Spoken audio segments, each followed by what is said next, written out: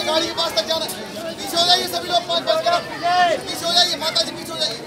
भैया, पीछे से पीछे हो जाइए। गाड़ी। भैया, पीछे हो जाइए। माता जी पीछे हो छोड़ो